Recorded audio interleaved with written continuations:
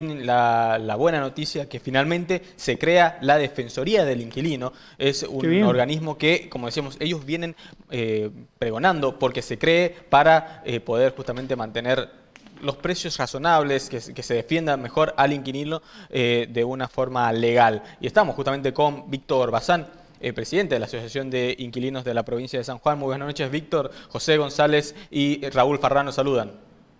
Hola, ¿qué tal? Buenas noches, ¿cómo, cómo andan? Muy bien, Víctor. Bueno, muchas gracias por comunicarse con nosotros y para celebrar nuevamente esta noticia de la Defensoría del Inquilino. Mira, yo creo que es una pelea ardua, bien te escuchaba vos al principio cuando hacías la introducción, es una pelea que hace mucho tiempo venimos realizando. Eh, hoy que los inquilinos de la provincia tengan un lugar donde poder manifestar sus denuncias y la problemática que viene acarreando de hace mucho tiempo, eh, eh, es importante que la Defensoría del Pueblo empiece a, tomar algún tipo de resolución. Bueno, coméntenos eh, cómo fue este, esta evolución desde que decidieron que, se debería crear hasta que finalmente hoy se crea esta Defensoría del Inquilino. ¿Cómo fue la pelea que usted manifestaba? fue una pelea muy grande. En razón, yo creo que la primera razón que nosotros hemos puesto en manifiesto es empezar a decir de que que la vivienda es el derecho humano fundamental y más que más que sea propia o no eso es, eh, es diferente. Digamos eh, los derechos de, los inquilinos son igual a, los de las demás personas que tienen una vivienda propia. Si empezamos a difundir de esa manera de que eh, el acceso a la vivienda digna tiene que estar garantizado más allá de que sea propia de alquiler y que es un derecho humano fundamental. Partiendo de esa base se va se ha logrado por lo menos eh, desde la Defensoría del Pueblo de que se empiece a tomar esta, estas denuncias y me parece que es el primer paso firme de nuestra asociación con respecto a, a, la situación que venimos atravesando constantemente. ¿no? Bien, entonces esta Defensoría se crea parte de la Defensoría del Pueblo, ¿sería así? Sí, por el momento es parte de la Defensoría del Pueblo. Eh, después eh, estaremos teniendo otras reuniones con, con Pablo García Nieto eh, para ver de qué manera la va a llevar a cabo y, nosotros desde la Asociación de Inquilinos seguir manteniendo un control de, las gestiones que van haciendo nuestros inquilinos para saber y tener una conversación más ardua con, con el defensor para ver las situaciones que se van manejando, cómo se van resolviendo y, y darle una garantía al inquilino de que puede tener una solución rápida a veces cuando se dan situaciones de desalojos, desalojos indirectos, corte de servicios o aumentos excesivos dentro de los alquileres o hoy en día querer hacer un contrato de alquiler, por ejemplo, cuando eh, tenemos extensivo hasta el 30 de septiembre el decreto 320. Hay un montón de situaciones que se van dando no, que son anormales, pero lamentablemente ves en la ciudadanía, más que nada del sector inmobiliario, del sector de propietarios, se insiste con volver a la ley vieja, se insiste en no tomar las medidas reales y, eso causa en el inquilino a, través de la necesidad de vivienda un, desconcierto importante, ¿no? Bien, y entonces una persona que sufre, como decíamos, estas irregularidades que usted manifestaba, va a la Defensoría del Pueblo, de, perdón, del inquilino, ¿y cuáles son los pasos a seguir? ¿Cómo, se, cómo es el proceso?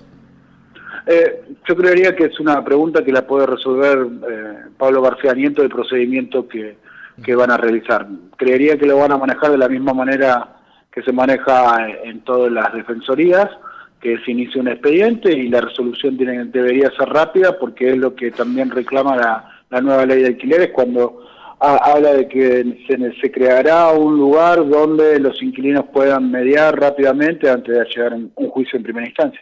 Bazán, ¿cuál es el problema más grave que tienen hoy los, las personas que alquilan?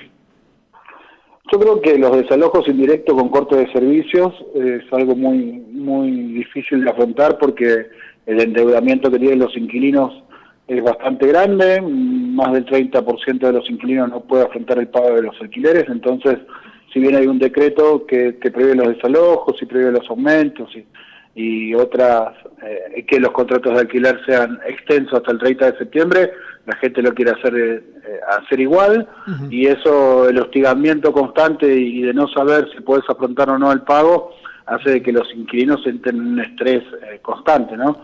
y, eso no se está respetando en la mayoría de los casos y bueno, creo que esto va a servir para que tantas ambas partes, porque también hablamos de de dueños entren en razón de que hay un decreto, que hay una nueva ley de alquileres y que todos los ciudadanos sanjuaninos tenemos que acatarla a ella. ¿no? ¿Y se da muchas veces, se da permanente, constante estas situaciones de, desalojo, por ejemplo, en San Juan?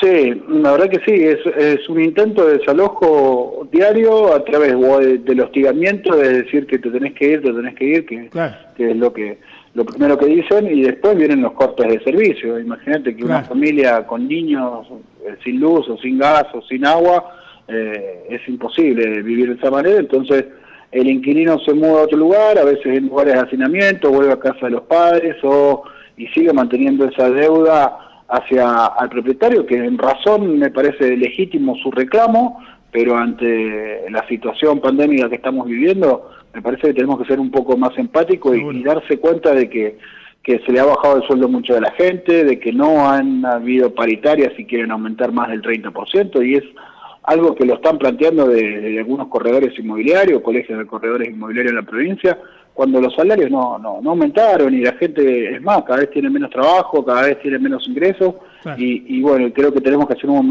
un poquito empáticos eh, en las dos partes. Eh, Víctor, con, respecto justamente a eh, el decreto que prohíbe los desalojos y también eh, los aumentos que tiene vigencia hasta hoy, el 31 de septiembre, hasta fin de este mes, desde la Cámara de Inmobiliarios manifestaban que estaban de acuerdo en mantener este decreto para el sector comercial, no así para el sector privado de, viviendas particulares, porque consideraban que la morosidad había sido mínima desde que comenzó la pandemia entre un 2 o un 3% que se había sumado quizás en, en el último mes. Eh, ¿Cuál es el análisis que ustedes hacen con respecto a la morosidad y si están de acuerdo con lo que eh, manifiesta la Cámara de Inmobiliarios? No, totalmente en desacuerdo. Nosotros tenemos nuestros registros de nuestros censos que casualmente ayer vinieron y tenemos más del 30% de inquilinos en la provincia que no pudieron afrontar el pago todos los inquilinos están en expectativa de que se pueda extender el decreto. ¿Por qué te digo? Primero por, por, porque no, no pueden afrontar un nuevo aumento, que lo están diciendo ellos que lo quieren aumentar. Segundo, porque todavía la ley de alquileres nueva no está teniendo su transcurso normal, sino que se siguen aprovechando y es más, están haciendo contratos con fecha anterior al 1 de julio. Y, y, me parece que la extensión serviría para que haya un conocimiento arduo de todas las partes y para poder aplicarse con el transcurso del tiempo y eso darle por lo menos al inquilino la previsibilidad de que pueda mantener su valor del canon locativo al tener una disminución en sus ingresos. Y si bien la otra parte a veces eh, eh, reclama porque dice que es su ingreso de los alquileres la única forma de, llevar adelante su vida, la misma ley de alquileres eh, y el mismo decreto, perdón, del 320 dice de que las personas que presenten ante ante algún juzgado y, crean que es el único sustento donde puedan mantenerse, puedan hacer el reclamo justamente de los alquileres, pero si tienen jubilación o tienen otro tipo de ingreso, digamos, tienen que justificar la, el, real, la real necesidad para que el inquilino pueda afrontar. Y la verdad que no queremos que estar endeudados, no queremos no dejar de pagar el alquiler, Sí lo que queremos es que sea un poco empático y tenemos una ley que, y que se respete y tenemos un decreto y que se respete para que todas las partes estén conformes, ¿no? Víctor, usted está diciendo que eh, se están haciendo contratos, la ley ya está en vigencia, pero usted está diciendo que se están haciendo contratos antes de la promulgación de la ley, eh, se está violando básicamente eh, esta nueva ley de, de, inmobiliaria, de alquileres. Sí, es así, la verdad es así y es lamentable.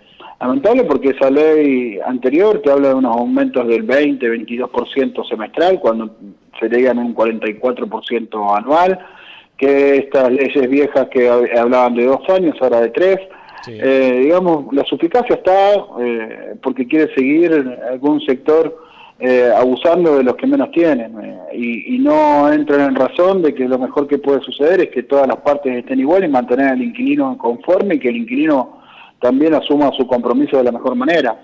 Si buscamos eso, es más, hay contratos de comodato que se están firmando, que no tiene nada que ver el recurso legal de un comodato, lo que es la, realidad.